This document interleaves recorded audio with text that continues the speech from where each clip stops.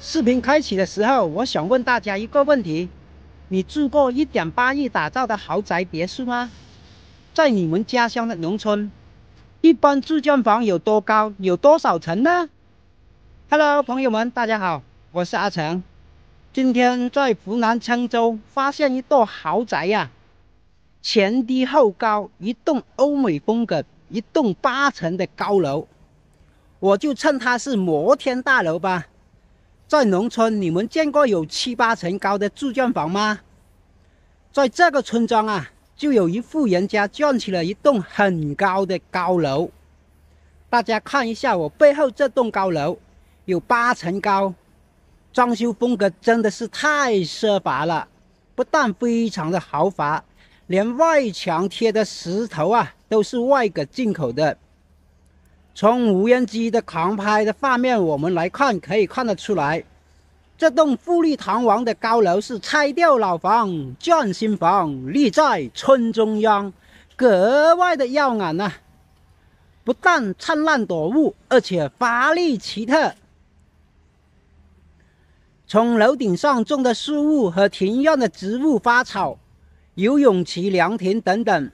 还有那几尊从泰国五百万购买的大象千里马，有点类似西双版纳的蓝天别院，既新奇又罕见呐，的确让人大开眼界。哇塞，这里好美呀！独特的风情庭院，美轮美奂的，让人仿佛来到东南亚的感觉一样。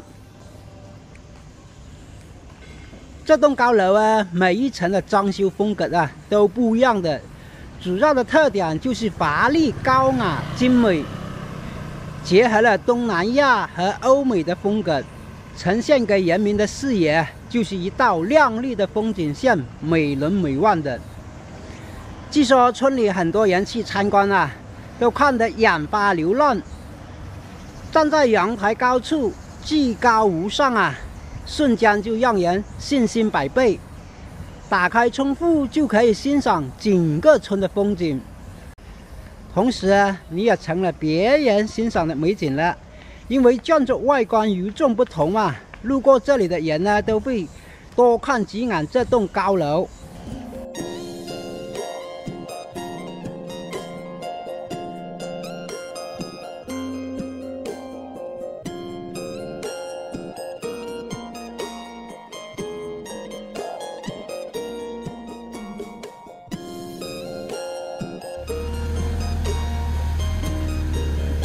老板回家了，看见是什么车吗？那个路虎啊，你看一看，哇塞，好漂亮啊！你看看，一二三四五六六六层啊！走进屋内呢，更是一步一风景啊！不懂得欣赏的人呢，那就是主人老板收藏的。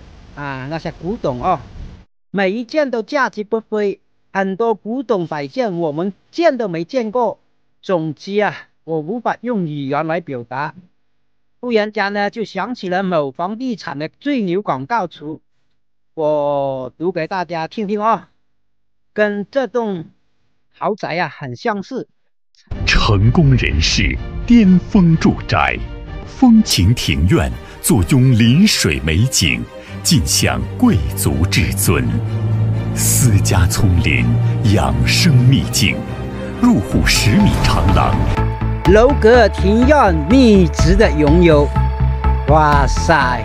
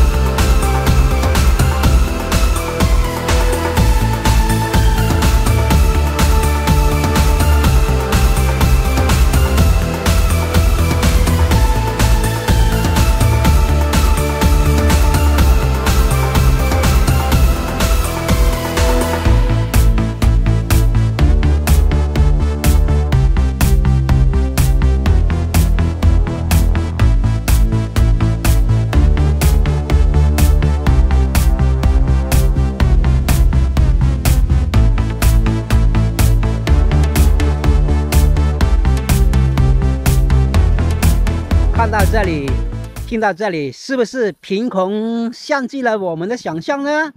这是多少人梦寐以求的巅峰住宅呀！说真的，这样的住建房啊，谁不想拥有呢？我看见了就想搬进去住了。在农村啊，能够建起这么好看的楼房，可以说是非富即贵了。那么，究竟多优秀的人才能建得起呢？大家可以先收藏点赞，支持一下阿成。咱们接着往下看，好吧？无人机呢，从高空中俯视，这栋住建房看起来有一种说不出来的霸气。可能是因为它的建筑比较高嘛，面积也比较大，周边矮小的房子更是承负了它高高在上，真是与众不同，非常的有魄力。看起来呀，就有一种高大威猛的感觉，成了整个村独一无二最高的楼房了。我们再看一下这栋楼房的前后左右，周边的楼房跟它一对比啊，那简直就是小巫见大巫啊，明显就不是一个等级的。看到这里，也许有人会疑问了：在农村为什么要建这么高的楼房呢？难道是为了面子吗？让人知道他的实力？No No No，大家也可以发挥一下你们的想象力。有没有可能家里人多啊，或者兄弟姐妹凑合在一起，每人几层，所以呢就建了这栋摩天大楼呢？其实啊，这些都不是哦。原来啊，主人是本村一位九零后姑娘，因为这里旅游资源丰富嘛。村里啊，要有天然的温泉。于是啊，他看到了商机了，就放弃了一线城市年薪百万的收入，通过招商投资涌资了两亿，花一点八亿把自家的房子啊打造成民宿酒店，剩下的呢就用于流动资金。就这样啊，一栋摩天大楼就呈现在村里了。成了全村全镇最高的建筑地标。不知道你们的家乡农村有没有这么高的楼房呢？欢迎大家下方评论区交流一下。我们下期见，拜拜。